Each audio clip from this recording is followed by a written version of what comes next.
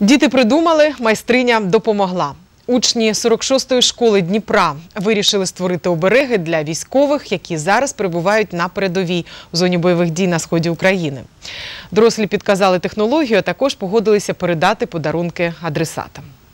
Кожному бійцю по оберегу. Школярі придумали, що майстриня розповіла, як. Альона Устименко за проханням дітей розробила схему плетіння оберега для військових. За два дні акції учні 46-ї школи зробили близько тисячі янголів. У творчому процесі зайняті всі школярі. Старші роблять власне фігурки, а молодші пишуть побажання та імена, створюють листівки. Ми плетемо особисто для кожного бійця, кожного янголятка. Я вважаю, і шкільний парламент ми вважаємо, що це буде як е, якась е, допомога запасна, ну якщо можна це так назвати. Я о, спілкувався з бійцями, і вони о, кажуть, що дуже допомагають і малюнки, і о, оці ляльки, о, якби в моральному плані. Вони підтримують е, їх о, там.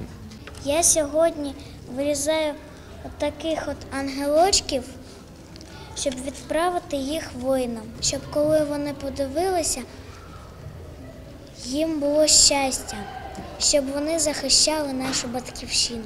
Хай вони повертаються здорові.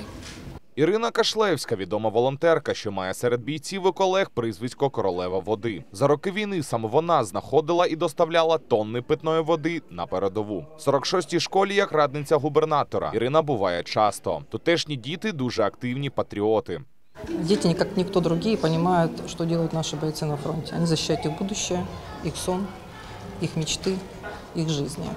И три года они передают письма, обереги, рисунки, все то, что может хоть как-то помочь защитить бойца. 30 ноября их обереги, игрушки, поделки, письма будут переданы к нам в Днепропетровскую администрацию на первый этаж.